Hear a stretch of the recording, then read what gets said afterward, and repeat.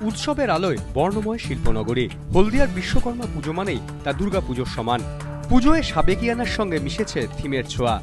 কোথাও ঝিনুক, তো আবার কোথাও খড় দিয়ে তৈরি হয়েছে মণ্ডপ। কোথাও লেগেছে যামিনী রায় শিল্পকলার ছোঁয়া। বেলের খোলা থেকে মুক্ত। অপরূপ বৈচিত্র্যতা মিশেছে প্রতিমা শিল্পীদের ভাবনাতেও। পুজোয় মেতেছে IOC Haldia Petrochem, Exide, Mitsubishi সহ বিভিন্ন সংস্থা। এবছর হলদিয়ায় প্রায় চারশোটি পুজোর আয়োজন হয়েছে। রবিবার বেশ কয়েকটি পুজোর উদ্বোধন করেন সাংসদ শুভেন্দু অধিকারী। শহরের মানুষের কাছে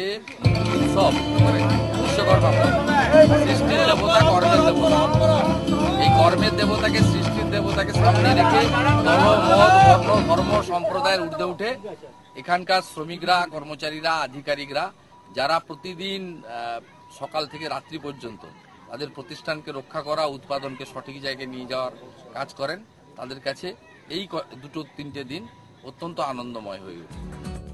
বিশ্বকর্মা পুজো ঘিরে সপ্তাহভর উৎসবে মেতে থাকেন শিল্পনগরীবাসী। আশপাশের এলাকা তমলুক, কাথি, নন্দীগ্রামের সঙ্গে পুজো দেখতে দূর দূরান্ত থেকে ভিড় জমান বহু মানুষ।